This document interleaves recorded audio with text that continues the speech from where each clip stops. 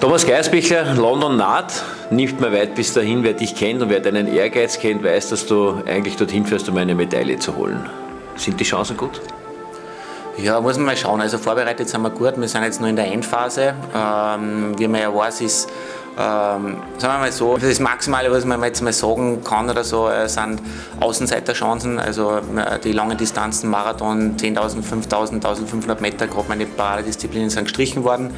Äh, jetzt gibt's jetzt muss ich als Sprinter antreten. Wir haben es eineinhalb Jahre davor erfahren und äh, wir haben halt das Training ähm, umstellen müssen. Man, da war das so, wenn du sagst, du machst einen Heilige Gebre Selassie als, als, als äh, Kurzstreckenläufer. Ähm, wir haben jetzt noch in der, jetzt haben wir in der Endphase äh, vom, äh, vom Aufbautraining. Es ist so getimt, dass man einfach, dass ich da das Maximalste in dem Zeitraum, was mir zur Verfügung gestanden ist, aussuchen kann. Und äh, von dem her passt es gut. Ich bin nicht krank geworden. Es war trotzdem ein relativ zaches Training, was schon ziemlich weh hat.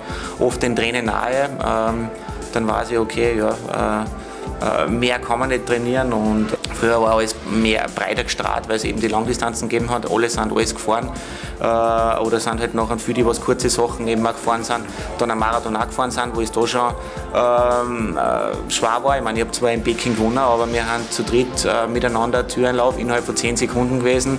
Äh, jetzt, ist alles ganz, jetzt ist alles ganz komprimiert zusammen und ich weiß nicht, wie meine Gegner drauf sind. Ein paar habe ich schon gesehen. Äh, also ein paar weiß ich, dass die ziemlich gut drauf sind. Also, äh, ähm, leicht wird es nicht, aber ich, ich, ich versuche mich da das so weit wie möglich irgendwie auszublenden und einfach, äh, einfach mich auf mein Rennen zu konzentrieren. Und, und ähm, gerade beim 800er ist es so, da wird viel halt eben auch Windschatten gefahren, viel taktisch gemacht halt eben auch und so. Und äh, ja, da ist von da kann dann von 1 bis 8, dann, wenn man sich qualifiziert für das Finale, da kann von 1 bis 8 dann alles drinnen sein. Und äh, eben wie gesagt, ich versuche keine Szenarien nicht, nicht, nicht irgendwie auszumachen. Ähm, ja, vielleicht habe ich Außenseiterchancen, äh, vielleicht kann ich überraschen. Also ich werde sicher auf alle Fälle mein Bestes geben und viel reinhauen. Äh, für mein Land, für meine Ideale kämpfen halt und dann schauen wir mal, was passiert. Ein großer Vorteil bei dir ist sicher das, dass du schon Medaillen im Gepäck hast von früheren Spielen und da kann man schon relativ locker hinfahren und man weiß, dass man ja die Chancen hat. Äh, irgendwie wird man dadurch halt noch ein lockerer, dass man sagt, okay, wenn das Szenario passiert, dass nichts passiert, äh, dann ähm, kann ich heimfahren äh, zu meiner Vitrine und weiß, dass da genug drinnen sind, dass ich, dass ich schon ein bisschen was gewonnen habe halt und so. Äh, aber nichtsdestotrotz, ich, meine, ich habe mich vier Jahre darauf vorbereitet und das ist natürlich jedes Ziel von, von, von, von jedem Sportler, dass man eigentlich so idealistisch sofort, äh, dass man den Siegeskranz für sich erringen möchte halt und ich versuche einfach locker in die Rennen reingehen. Äh, ich weiß, ich bringe die, die beste Leistung bringe nur, wenn ich locker bin und wenn ich nicht verkrampft reingehe und versuche einfach das auszublenden, dass das nicht meine Paradedisziplinen sind.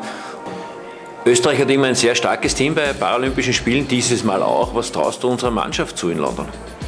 Ich hoffe natürlich schon auf Medaillen. Äh, ich glaube, es sind schon einige Kaliber da, die was sogar ganz vorn wieder was machen können. Äh, also ich glaube, wir haben ein gutes Team ähm, und ich glaube, äh, dass, das vom Potenzial her schon so weit reichen kann, dass wir die österreichische Bundeshymne zumindest einmal hören.